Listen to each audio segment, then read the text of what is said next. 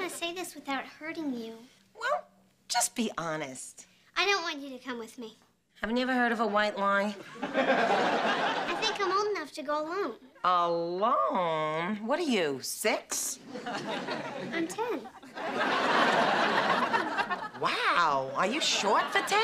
I just don't think I need my nanny sitting there watching me play with my friends. It's kind of embarrassing. Uh, perhaps I should explain what a white lie is. Hi, Miss Babcock. Gee, that outfit looks fabulous on you. Why, thank you, Nanny Fine. You don't think it's too tailored? No, not at all. Very sexy.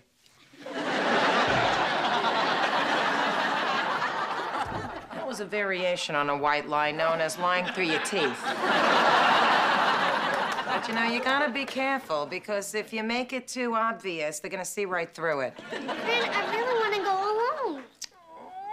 Although, I'll miss the sound of your voice. It's so soothing. Thank you, sweetheart. So can I go or not?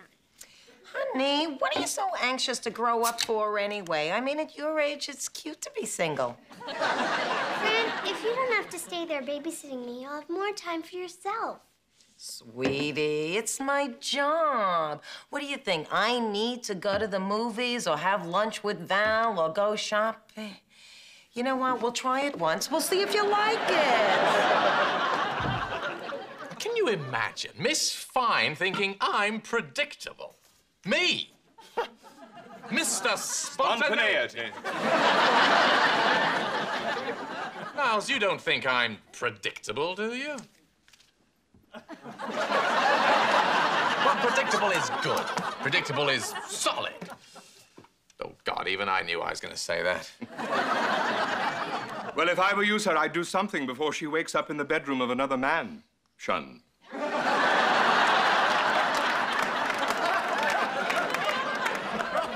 Niles, I want her to be happy here. How do you suggest I go about satisfying Miss Fine?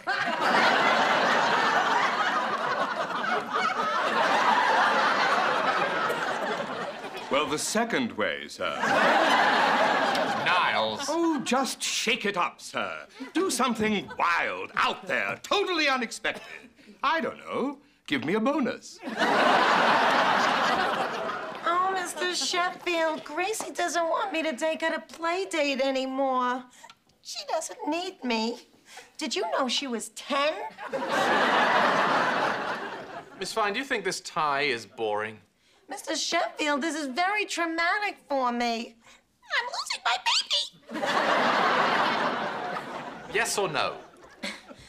Well, it wouldn't be Monday without your Monday tie. That's it. It's gone. All right, what else don't you like? I'm not crazy about the pants.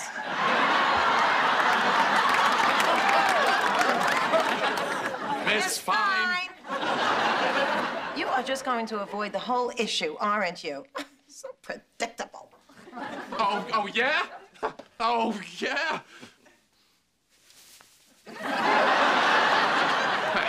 Bet you didn't think I was gonna do that. Sure, tousle Niles' hair. Typical. Did he flatten it all out? Because I do like a little height.